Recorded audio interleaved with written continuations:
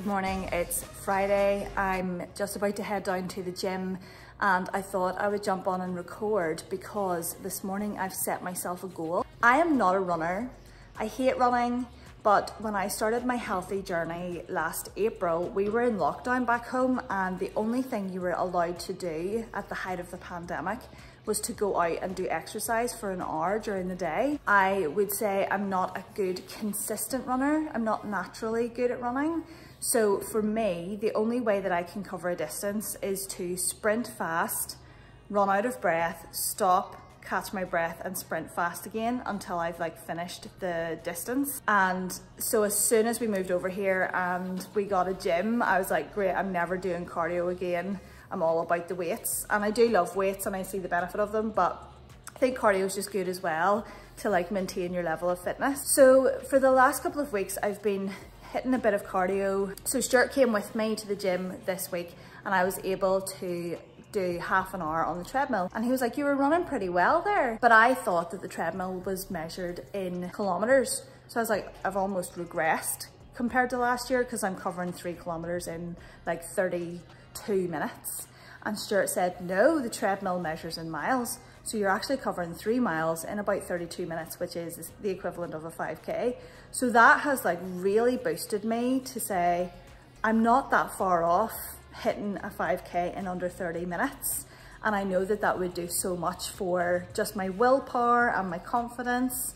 And as much as I'm dreading it I'm actually really excited to try. So I'm gonna go and do it now. And uh, let's see what happens. And hopefully I'll have some good news to share with you in a little bit.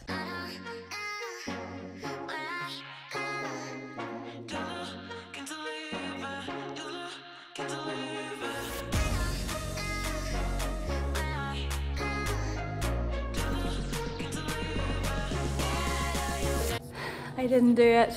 I managed three kilometers in 17 minutes 52 seconds. So I was definitely on track. But I just pushed myself too much today and I thought that my willpower would get me through, but my willpower has let me down again.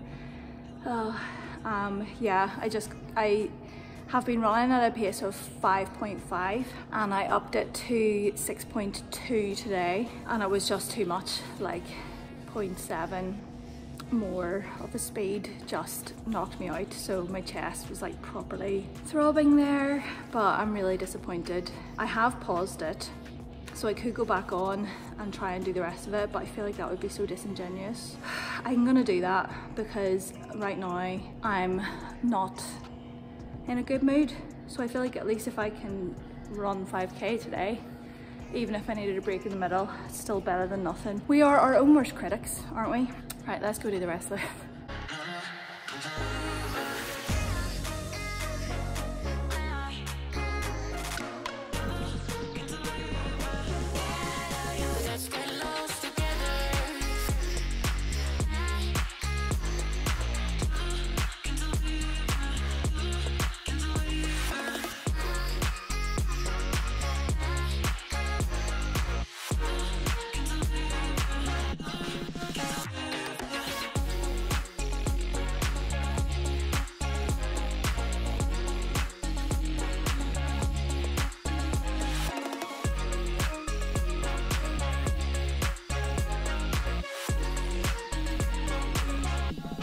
I'm gonna hang out with Alden and Kat. I met them online at the start of January where we did like a virtual course together. I saw them on Saturday at a little brunch that we all had to kind of finish the course off and we were like we have to go for dinner so we're going to Fonda which is a Mexican restaurant and they have the best rose frozen margaritas and as with all of the amazing girls that I've met in New York they have the most incredible jobs Alden works for French Connection here in the city and Kat is creating her own beauty line. Really excited to hang out with them tonight.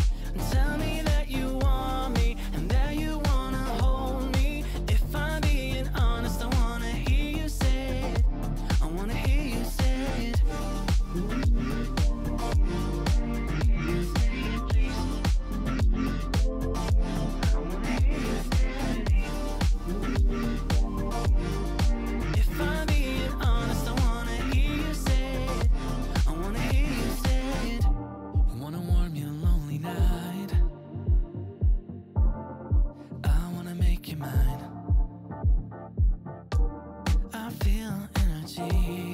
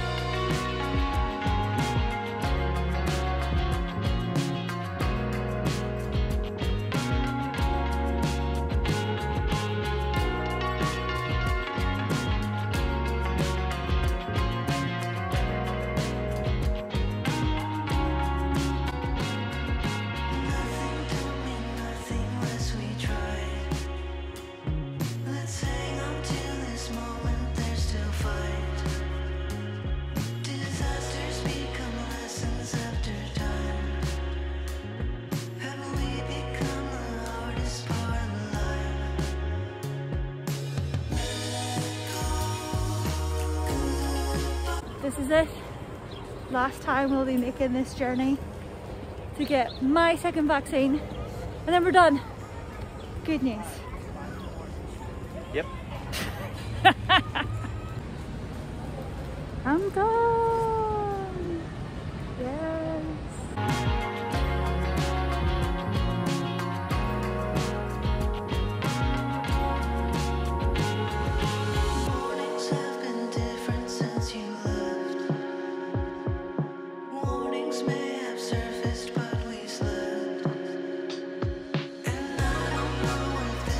This is so good. Um, so Stuart and I decided to just come down to Chelsea Market after I got my vaccine, just for like a quick dinner. Um, so we went to a place called, I think it's called Mok Bar, which is like Korean food. And I got a dish called bulgo, bul, bulgogi, which is like the most delicious, like stir-fried salted beef.